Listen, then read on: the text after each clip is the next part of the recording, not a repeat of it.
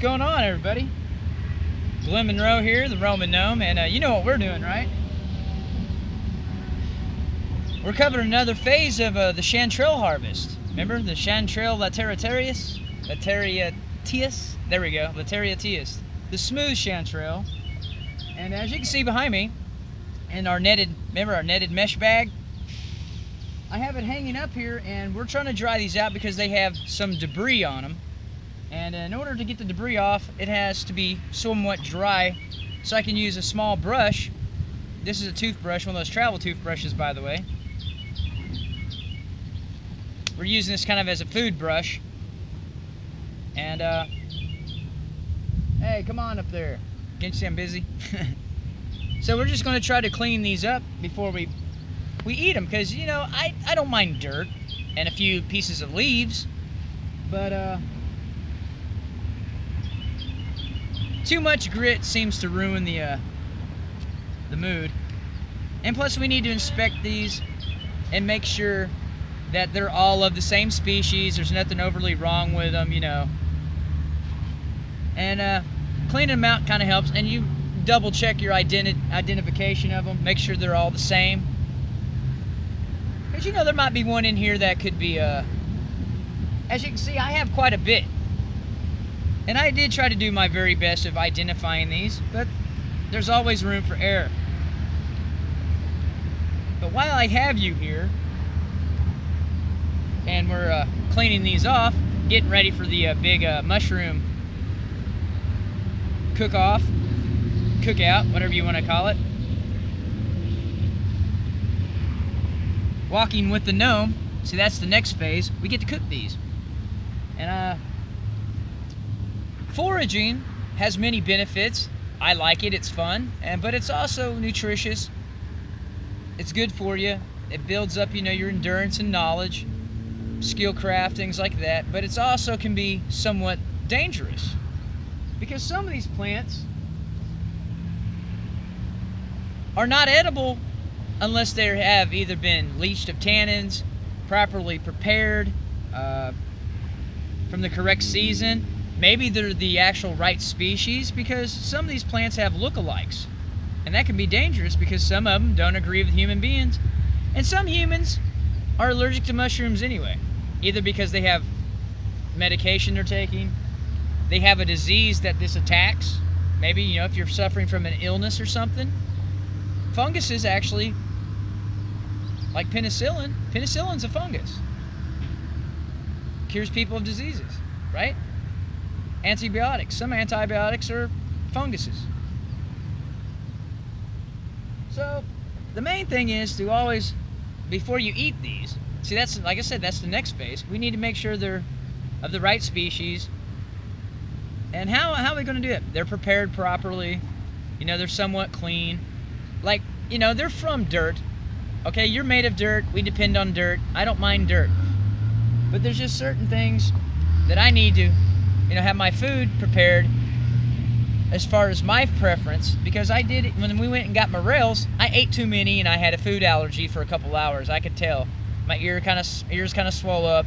I had a real bad headache, felt like I had a sinus problem, and my stomach was rumbling real weird. But other than that, it went away because I ate too many. I'm five foot six. I weigh about 145. Okay, I'm a small person. I'm a small man, not very big. And uh, so I recommend, like I said, if you do eat these, like I said, uh, don't go haywire and eat a whole bunch because you don't know if you're allergic to it or not. But uh, these seem to be pretty friendly. These are the most widely consumed edible mushrooms on the planet next to those weird looking white ones that you put on your pizza. I think they, uh, I did some research on these. Something about 5 million pounds a year that Europeans and uh, Americans consume of these mushrooms. but if they have dirt on them, take your little food brush and clean them up. And they look questionable. Just remember, hey, they're questionable looking, then uh, don't eat it. If it looks like it's got a little damage or it might not be the right species, then don't don't risk it okay? But uh, here's some basic tools that I use to prepare these. I didn't want to clean them while I was, you know, getting them off the uh, off the forest floor because you know I was it was hot, sweaty. I'm hiking on the mountainsides, and then I have to ride my bike or hike all the way back here with them. And so I figured it'd be better to prepare them outside of the camp. You know, and then you put them in a mulch pile or something, or spread them around another place that has oak trees, because that's what they're predominantly grow around. And then that'll give them a shot next year because they have spores and stuff on them. But just simple tools is what I use. A brush to clean them off with. Like I said, it's nothing fancy. I'm not a. I've seen knives with brushes on the other side for actually collecting mushrooms. I just use a basic pair of scissors. Wow, how complicated is that, right? But uh, another thing I wanted to touch on while we're here, and we're having this discussion about proper identification and preparation, and uh, professional opinions, and actually personal experience with using these plants. Um, I wanted to bring your attention to a couple things real quick. I'm going to come down here so I can be more personal and up close with you. You know how I like to do it. I'm ready for my close up, Raul. All right. First off, let's talk about professional, personal, and professional opinions. Um, funguses, some of these mushrooms, I don't want an opinion. I want a, you know, a, a I need some facts. I don't need a personal opinion. Okay? I need experience, facts, and results. Okay? So,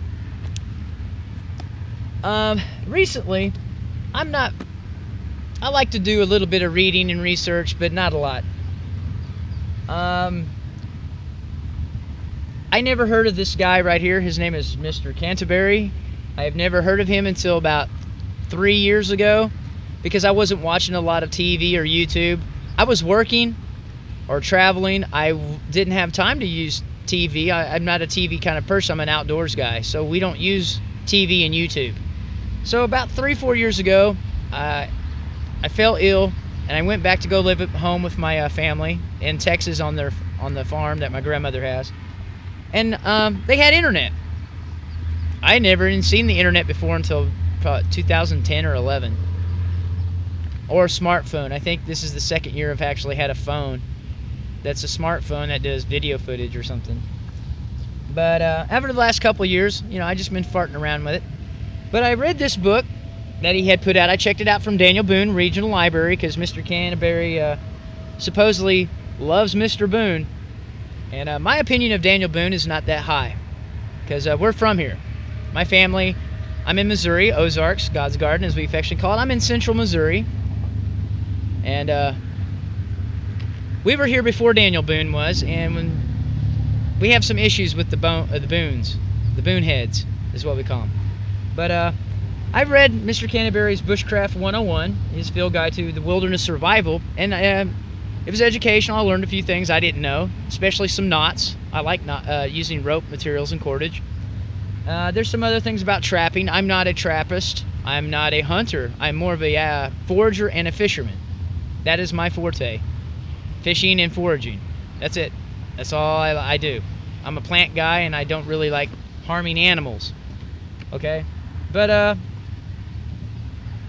I read over the trapping section, the knot section. I did learn some stuff, but there was a section in here about how he speaks about he's very leery of uh, funguses.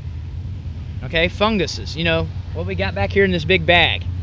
Maybe because he's not educated in that department, or maybe because he's you know, he had a bad experience with some shrooms. You know, maybe the hallucinogenic ones. I don't know. He seemed kind of like he's you know been around a little bit. But this is his book that he wrote. I checked it out from Daniel Boone Regional Library. I read it twice, front to back, and I, I like it. It's pretty cool. It covers some things, but it doesn't really uh, go over agricultural very much, plant identification, because this is a basic book. But food is what you need to survive with. I mean, the tools are nice. You're going to need some of this stuff, but not really. Being able to identify and bring home food and prepare it properly is why you use this stuff in the first place, right? You're going to need water, you're going to need food. Food and water. Everything else is just birds on a feather, right? But he said uh, in one section in here that he's does not recommend. Uh, I should have dog-eared it, but I didn't. But he does speak about how he uh, foraging. It, he, he advises people to stay away from the funguses. All right, we're going to get on with this part. But I did read it. Okay. I recommend it. It's cool. All right. Um, like I said, I'm not really big on trying to read things from a book. But you know, I checked the guy out. I've seen him on YouTube and stuff, and you know that's my my my forte. And I like crafty things and you know things that are related to uh, outdoor stuff. So yeah, he was on there. You can't miss him. You look it up, it's like boom, he's all over the place. But uh, I read the book. I actually was looking for the one. Uh, I think the second one he put out, the one that shows on the front of the video where he's got the the fishing spear. Because I've never used an actual frog gig from Bass Pro Shops or K&M, I think that's what they call it, fish spear to catch fish. I've never been a bow fisherman. You know how I catch fish? With a line and a hook or a net. Basically a little trap. That's it. That's how we catch fish. Or we just, you know, go in there and noodling or tickle the trout. Okay?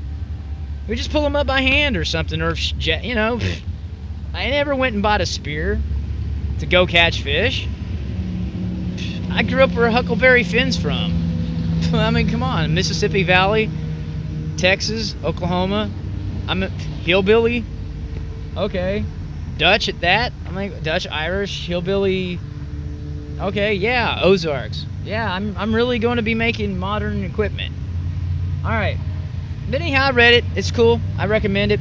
He says shy away from foraging. Man, I'm gonna eat, dude. Here's the problem. Here's the solution. See? He says, Hey, I'm afraid of funguses. Well, here's my recommendation. This is local. I'm in Missouri, Ozarks region. This is Missouri's Wild Mushrooms, a guide to hunting, identifying, and cooking the state's most common mushrooms by Maxine Stone, and it's put out and endorsed by the Missouri Department of Conservation, which I don't really uh, 100% agree with, some of their policies, but this handbook has not let me down. It hasn't. This is an oyster mushroom on the front. I've eaten these. They're pretty tasty, even though they're on the. Uh... Look at all these edible mushrooms in here in the back. The oyster, I believe, is a star, a three star. Let me see if I can think. Three or two. Let me see if I find it. Oyster. they got the oyster at? I don't know if they got the oyster on there. Remember we had the jelly fungus? It's down there at one star edible. Hey, I thought that was pretty cool. But uh, yeah, I agree it didn't taste that well, but it's an ingredient in a dinner, in a meal. I mean, yeah, you just don't eat one thing, you put it together. You put it in a wok, right? Walking with the gnome. That's what we did. We went in the forest, went walking with me. And then when we get done preparing in this, we're going to be walking the chanterelles, if you know what I mean. So, as you can tell here, it has mushrooms by edibility category. And these are all local common mushrooms, and these people are all from here. That's Miss Stone right here on the back. She's got a, uh, she's a member of the Mycology Society, which is uh, the art of, it's people that love funguses, and they know, they're really knowledgeable about it. And they put out this book. So, we're hunting. I don't call it hunting because I found them. I didn't actually go looking. I just Hey, look, there's a bunch of yellow shrooms. Let's identify them, remember? Unidentified fungal objects. Foraging, that's my that's what I like to do. So this is the manual or the handbook, companion book. They also have a website, Department of Conservation, with a field guide for other plants native here, and that it goes with this. But I'd rather have the book. I got this from Daniel Boone Regional Library. I checked it out. You can get this for $14, I believe. You can probably order it from Miss Stone or Miss Stone's publishing company, or come down here and get one, or don't get it from Amazon because it was $40. Don't do it. She even put it on there that it was 14. So this is 14, but it's Department of Conservation. We give them lots of funding. They ought to just give me the book. I think that's how Daniel Bone head regional library got it. But uh, anyway, it goes over some details on recipes, food, how to prepare them, identification, photographs, and slight details, and it's easy. Remember, keep it simple. Keep it simple, right? So let's go to the one that we collected. All right, we went foraging, we found some funguses. I didn't know about them. I'm going to admit, hey, I don't know everything. that's what, remember, that's what Mr. Canterbury said. He's afraid of foraging. Well, I'm not. But look at this list of edible choice mushrooms, man. And I just want basically five to ten. I'd be happy with that. And so we got right here, we got 1, 2, 3, 4, 5, 6, 7, 8, 9, 10, 11, 12. So we have 20 four star edibles. And then down here, the three, even the three and the twos are good. I've eaten, the, what is it, the oyster? Where's it at? I've eaten pretty much at least a dozen or more of these on this list, okay? By accident or just by, you know, hey, it smelled good, I ate it, and I know that's probably not recommended, especially for, but most of the bracket funguses, you can't go wrong, okay? But make sure you know what the hell a bracket fungus is. But there was an oyster in here. I ate one. That's what's on the cover. They're good. Um, there was a couple. I had a dryad saddle. It says number two. They were good. I thought they were like three or four. But, so I'm expecting these to be off the chain. But look at all the large list of edibles that we have in the, uh, the fungal department. And they're weird. Some of them are just downright just weird looking. You know, creepy. Like, oh, I'm not eating that. But let's get on with the, uh, the, the identification and the details and stuff. Let's get on to the good part. But they do go over how to prepare them, um, good the seasons, environment. Now let's go. We're using the chanterelle. This one's called. Dun, dun, dun. We'll go to the picture this one's on. Shows you what they look like. Shows you the seasons. Okay. And the one that's what we're doing right now is called the chanterelle. And look, there it is. This is the Guild one, the blunt ridged one, remember? Blunt ridged. Okay? The Cibarius. Now look at that picture. And then it goes into all these details about it's one of the most sought after mushrooms uh, edible. But in Missouri, it's not the most common one. It's hard to find. These are actually difficult to get. But they do grow in Missouri. This one, which is in the same family, is a smooth. That's what we have in the net up there. That's what we've been after all the last two days. See? You notice my bag is uh, busting there. My bowl and my bag are busting out with shrooms, chanterelles. So here's the photo. That one's yellow. Ugh. These are orange. Now, the book is pretty accurate. Okay, bright orange to yellow cap, wavy margins, smooth on the underside. Boom, we got that. Okay, and it goes into detail to tell you it's a four-star edible. Okay, and it says it's the most common mushroom in Missouri's oak history forests. Oh, oak hickory, excuse me, oak hickory forests. Well, isn't isn't that a part of bushcrafting? Oak and hickory, isn't that wood? Right? Isn't that the woods? Right? Okay.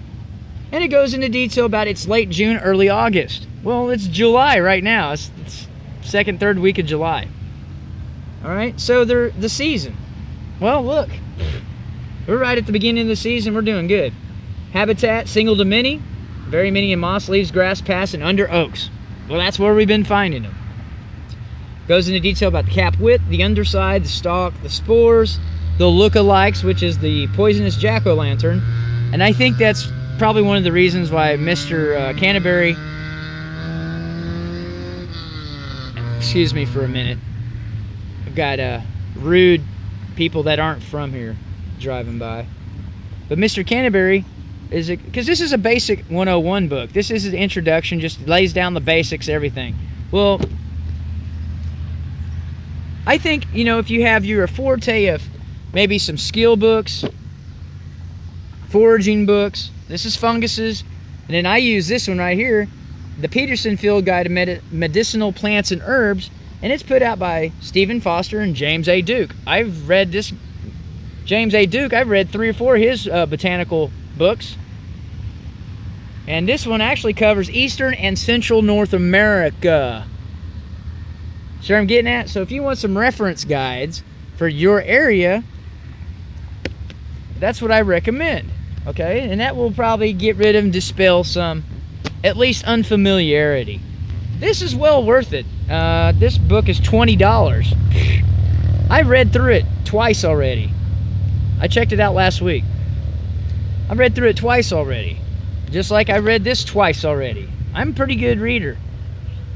Even though I'm I can't see far away, I can see about that far.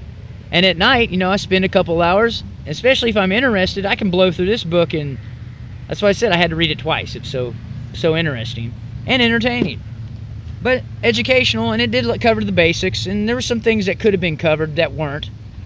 And uh as far as re- referrals to foraging books. That's what I was saying. I said, well, if you're not very good at foraging and you're a basic forager, you're just starting out, then uh, where would you go for? Like I said, I don't want a an opinion. I want a professional, personal experience that's a factoid. I want facts. Well, this is pretty factual. Okay, these have not. This has not steered me wrong yet. Okay, as I have eat, we're gonna eat the chanterelle. I've eaten some of the other ones, right? Let's see, which ones have I had? I haven't had that one yet. Let's see. There's the oyster. I ate that one. Based on their information. Oh, it is a four-star edible. Okay. Yeah, it was good. It kicked butt. I highly recommend it. Um, let's see. I haven't eaten that one. Let's see what else you got here. Golly, can y'all just stop it? I ate that one, the Dryad Saddle. It says it's a two-star edible, but I thought it was good. Um, I haven't seen that. I think I ate one of those on accident. It says the cinnabar polypore is not edible. I ground it up and actually I made something out. We had this one, remember? It says it's a one-star edible. I thought it was good after we dried it out and put it in some soup.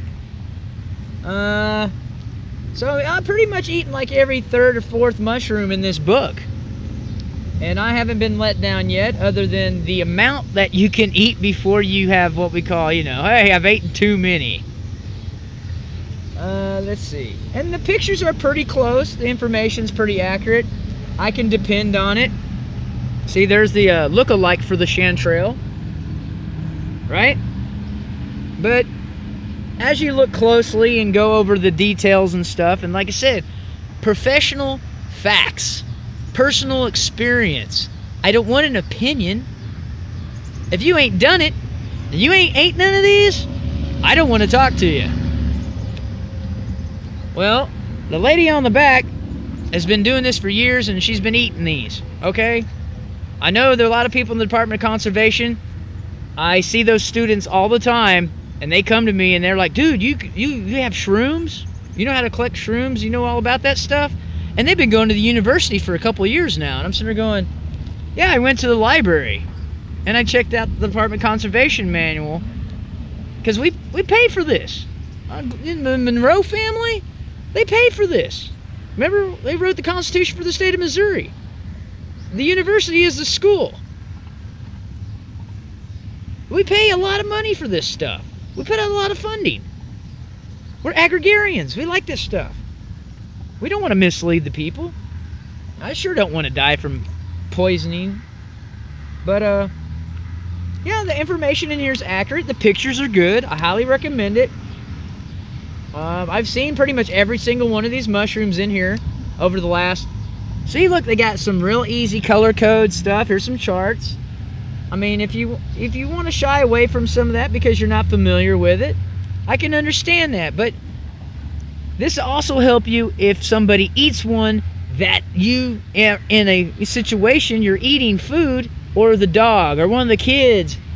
You know what I'm saying? Or you need medical supplies. Okay, this is this is important. When your kid might eat one of these and you're like, "Well, what the hell do I do?" Don't eat that. They have places in the world that they serve these as food. Even in Missouri people eat these. One of the locals recommended I eat one of these. No, I'm not going to eat that one. Okay? That is, that's a false morel. I don't know how you can confuse that one with the real one, because we ate real ones, remember? That doesn't even look nowhere near like a morel. But what we're going to do is this cool picture on the back. See, I got some mason jars over there, and we're going to dry these out in the sun on a net, and we're going to put them in a couple of jars, and we're going to use them for soup stock, but we're going to saute a couple of them up in the wok. That's what we're going to do next, once we get them all cleaned up right there. But I wanted to share this book with you, and it's got some recipes back in the back. It shows you proper food preparation. Remember, look, the jelly ear. Remember the jelly fungus? Jelly fungus. See? It covers jellies. Remember the weird stuff that you see like, oh, you can't eat that. Well, they've ate it. There it is. The tree ear. See, it covers that. And I didn't even have the book when I did the tree ear. I already knew about that one. Because like I said, I like Asian food. So look, it covers it right there. It says it's a medical fungus, right? Right there, see it's got a little prescription symbol. But it's got a pretty good picture of it. It describes it. The wood ear has been reported to positively affect blood coagulation and decrease blood cholesterol levels. Since it is a very popular edible mushroom in China, it may contribute to the low incidence of heart disease there.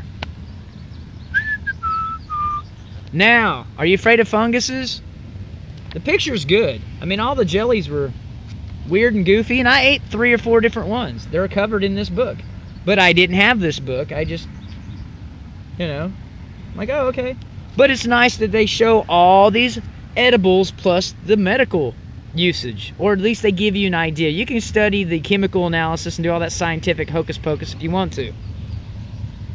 I recommend this manual right here, this handbook, and plus they have a field guide online if you want to just go up there and browse if you got it like that. But I always think a book is good. I wish they would have made it a little bit more of a you know, weatherproof because it's an outdoors book. I've already got the bottom of it damaged. But I do recommend the uh, Department of Conservation's Missouri Wild Mushrooms, A Guide to Hunting, Identifying, Cooking the State's Most Common Mushrooms by Maxine Stone and the Department of Conservation here in Missouri. Compliments of us, you know. Those weird people from the Ozarks. The Hillbilly Highlander. But uh, that's pretty much the book. I, like I said, it's $14 if you order it from a bookstore. Or you might even be able to get this used somewhere and just shellac the cover or, you know, something. But I checked this out from Daniel Boone Regional Library. And uh, that was the other thing. Mr. Canterbury talks about Daniel Boone a lot. Well, where we're from, you know, our family kind of settled here. Our opinion of Daniel Boone isn't that big, okay? It's about that big. We have other people that are that were here in this area that were make Daniel Boone look like play school. All right? Plus Daniel Boone kind of did some bad real estate stuff to the people on the East Coast, and that's why he was ejected from his uh, area. Yeah, you can look that up if you want to. But uh, he used to work for the Smithton Land Company. I'm a Smith, and he used to work for the Smiths, and then he quit and he gave up all the information and he tried to falsely speculate, do land real estate speculation, and misled a lot of German people and created a, possibly the Civil War problem with Andrew Jackson because he was selling real estate that he didn't have the right to. Okay, I'll just drop that. But uh, I do recommend this book. Uh, this will help you on your way if you're in Missouri or any of the local the locale states, the area, the region, you know, the actual region here, somebody that's from here giving you information about something that's occurring in the region or in the environment that you're in. See, my expertise is the Ozarks. Like if you were to hear stuff about Mors Kochanski, his is the Boreal Forest. Or Mr. Canterbury, where's his expertise at? Well, he lives in Ohio Valley. Remember, he says the he's the right the eastern woodlands. That's his area of expertise. Well, my area of expertise is the Ozarks and the Mississippi Valley. And I lived in Oklahoma for a while, so I know a lot about the Plains states, you know, the Plains area, the Mississippi Valley, and Texas. I've been all the way from the Gulf of Mexico, all the way to the southern tip, into Mexico on foot, all the way to Iowa and Colorado, and I think the furthest I've been in Florida, but most of that was just traveling. And everything else on foot is from the southern tip of Texas all the way to Iowa, up the Mississippi Ozark area, and a little bit of the western plains through Oklahoma. That's my stomping ground. Personally on foot.